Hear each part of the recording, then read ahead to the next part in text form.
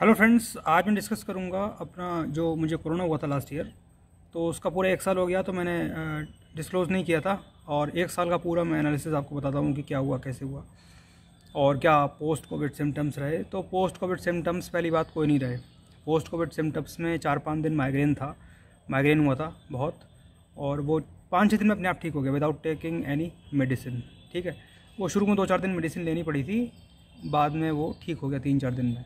ठीक है? Weight loss बहुत हो गया। छः सात किलो वज़न कम हो गया क्योंकि कोरोना के टाइम में पंद्रह दिन भूख नहीं लगी थी बिल्कुल भी। तो दो रोटी तीन रोटी पर डे के हिसाब से खाते थे तो ऑब्वियसली वज़न तो कम हो गई और वो वेट गेन भी नहीं हुआ। कोरोना कैसे हुआ पता नहीं। आ, क्योंकि ये एयरबॉर्न था तो हो गया। अब पता कैसे चला? सिम्टम्स जो थे वो फीवर आया। फीवर आने के बाद में वीकनेस आई और फिर एक्सरसाइज जब करते थे तो वेट उठता था लेकिन सिर के ऊपर से वेट उठना बंद हो गया। तब ऐसा लगा कि जो है वो टेस्ट कराना चाहिए। मेडिसिन खाते रहते फीवर की डॉक्टर से कंसल्ट करके उसके बाद में फिर डिस्ट्रिक्ट हॉस्पिटल गए वहाँ एक रुपये का पर्चा बना और टेस्ट हुआ टेस्ट में जो है वो पॉजिटिव आया। सी वैल्यू उन्होंने नहीं बताई। उनके कोई इशू रहे होंगे सी वैल्यू ना बताने के। तो सी वैल्यू पता नहीं चली थी उसकी बट था। तो हमारे यहाँ पर आ, मैं बरेली से हूँ यूपी से। तो हमारे यहाँ कोविड सेंटर अलग है। तो मैं कोविड सेंटर नहीं किया मैं अपने फ्रेंड को फ़ोन किया। अंशुल गुप्ता जी हमारे एक फ्रेंड हैं। और उनको भी जो है हो चुका था। तो मैंने उनसे कहा, मैं जाऊँ या हॉस्पिटल ना जाऊँ? बोले, मत जाओ। और उसके बाद घर पे ही ट्रीटमेंट करो। ठीक है तो मैंने उनकी बात मान ली। उसके बाद मेरी एक और फ्रेंड है, जो कि पल्मोनरी डॉक्टर हैं डॉक्टर समीक्षा, वो जयपुर बेस्ड हैं। तो उन्होंने भी, फिर मैंने उनसे कंसल्ट किया। शाम को अंशुल गुप्ता जी से पहले कंसल्ट किया। अंशुल गुप्ता जी से कंसल्ट करने से पहले मैंने न्यूज़पेपर में भी जो है वो यूबी गवर्नमेंट का गाइडलाइंस थी कि आवर मैक्टिन डॉक्सीसाइक्लिन ये आपको लेनी है मल्टी मल्टीविटामिन के साथ विद जिंक तो ये आपको फार्मूला फॉलो करना है। फिर हमारे जो ग्रेट डॉक्टर के के अग्रवाल साहब, जिनकी डेथ पिछली साल हुई, उनकी भी मैं वीडियोस देखी थी। पहले उन्होंने भी ये बताया था कि एवर माइक्टिन और डॉक्सीसाइक्लिन और आपका मल्टीविटामिन से स्टार्ट करो और कोई प्रॉब्लम नहीं आएगी। ठीक है ब्रीदिंग एक्सरसाइज हम रोज़ करते ही दस साल से कर रहे हैं। एक मिनट तक सांस रोक लेते हैं। कोरोना के टाइम पे पंद्रह सेकंड बीस सेकंड रुकती थी, बहुत मुश्किल से रुकती थी।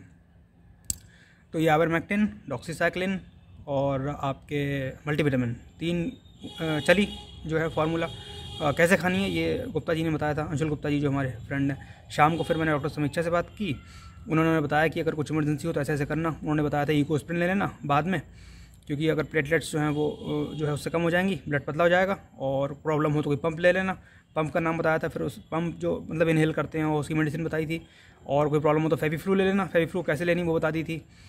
तो ये उन्होंने इमरजेंसी में बता दिया था कि ऐसे ऐसे करो। उसकी ज़रूरत नहीं पड़ी और डॉक्सीसाइक्लिन से और आइबरमैक्टिन से ही प्रॉब्लम सॉल्व हो गई।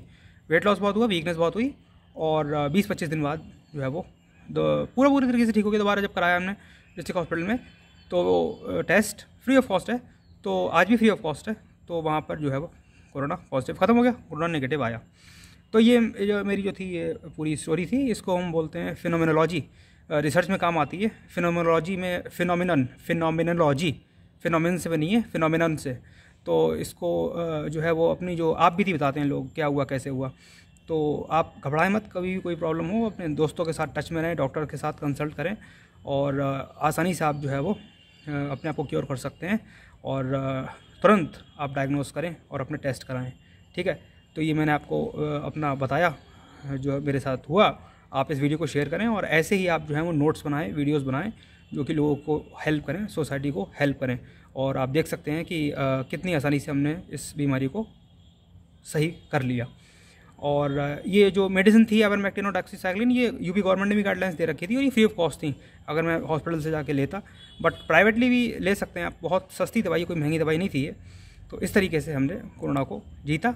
जो पोस्ट कोविड सिम्टम्स थे, उसमें वीकनेस और वो माइग्रेन था, वो भी ठीक हो गया, ऐसी कोई प्रॉब्लम नहीं आई। बट ओवरऑल अच्छा रहा। तो उम्मीद है आपको ये लेसन बहुत अच्छा लगा होगा। Thank you